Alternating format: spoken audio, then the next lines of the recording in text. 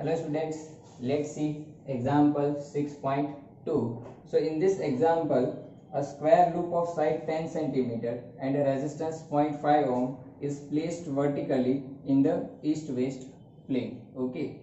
A uniform magnetic field of 0.1 Tesla is set up across the plane in the northeast direction. The magnetic field is decreased to zero value in 0.7 second at a steady rate. Here we have to determine the magnitude of induced EMF and the current during this time interval. So let's write the data which is given over here first. Here we have the square loop of side of length L is equal to 10 centimeter.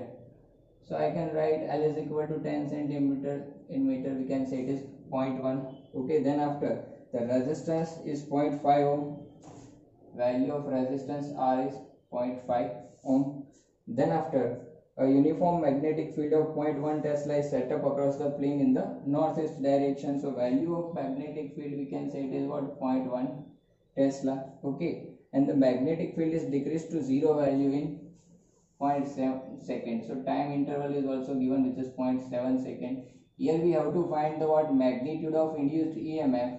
Okay. And the induced current I. Okay. So here let's see the situation given over here. The plane we can say it is in east west plane. Okay vertically आपको दिया हुआ। तो हम लोग यहाँ पे चलो suppose ये ईस्ट है आपका। आ, ये हम लोग थोड़ा कॉन्फ़िगरेशन चेंज कर देते हैं।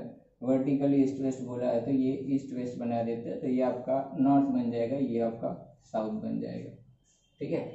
तो वर्टिकल प्लेन आपका ऐसे है ईस्ट वेस्ट ठीक है? चलो तो अगर यहाँ पे फिगर ड्रॉ करें तो फिगर कैसा बनेगा? आप देखो यहाँ पे। वर्टिकल ईस्ट वेस्ट प्लेन आपका ईस्ट वेस्ट डायरेक्शन में है। तो प्लेन ऐसे है, ठीक है? चलो तो इसका प्लेन का एरिया वेक्टर कहाँ पे होगा? एरिया वेक्टर ऑफ़ कोर्स कहाँ पे होगा? नॉर्मल टू इट ये डायरेक्शन में होगा एरिया वेक्टर और यहाँ पे मैग्नेटिक फ़ील्ड कौन सी डायरेक्शन में? मैग्नेटिक फ़ील्ड आपको दिया है कि नॉर्थ ईस्ट डायरेक्शन में। तो आपका नॉर्थ ईस्ट डायरेक्शन ये वाला होगा।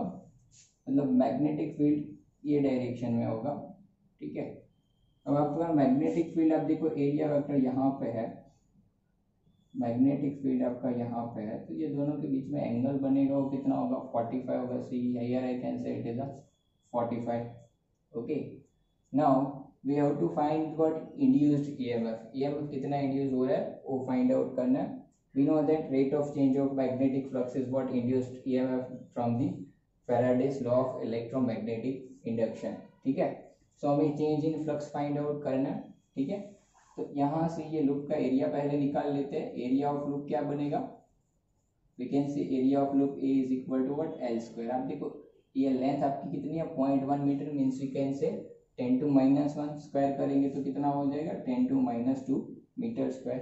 ठीक है let's find the initial flux initial flux let it be phi i we know that its equation b dot a vector, b dot vector a, that is b a cos theta flux का equation तो यहाँ पे देखो magnetic field आपको दिया है point one area हमारे पास है कितना है? Ten to minus two. ठीक है? चलो, और ये कॉस थीटा है, जो कि आपका देख रहे हो इनिशियली दोनों के बीच में एंगल कितना बन रहा है? Forty five so here I can say cos forty five ठीक है? चलिए पॉइंट वन को टेन टू माइनस वन लिख सकते हो, और ये टेन टू माइनस टू आपका टेन टू माइनस थ्री बन गया, और कॉस फोर्टी फाइव कितना होता है? One over root two so ten to minus three by root two weber it is the initial flux okay after point seven second here it is given that after point seven second magnetic field is what? Zero. So, we can say final flux phi f कितना होगा? Zero होगा। ठीक है? चलो तो अभी magnitude of induced EMF find out करना है। तो मैग्नीट्यूड ऑफ़ इंड्यूस्ड ईएमएफ कितना होता है? वो निकाल लेते हैं। ठीक है? चलो from the Faraday's law of electromagnetic induction we know that magnitude find out कर रहे हैं। तो कितना होगा? Delta five by delta T हम लोग याद रखो मैग्नीट्यूड फाइंड आउट कर रहे हैं तो मैंने यहाँ पे नेगेटिव साइन नहीं लिया। Because negative sign indicates what? Direction of induced EMF which shows the presence of lens lobe ठीक है? चलो in mod we can say final minus initial करेंगे, या final minus initial minus final करो, दोनों same होगा आपका। ठीक है? तो ये आपका five I minus five F divide by कितना होगा डेल्टा टी। अब इनिशियल आपका है आपके पास ten to minus three by root two तो यहाँ पे होगा ten to minus three by root two ये आपका ज़ीरो होगा, ठीक है?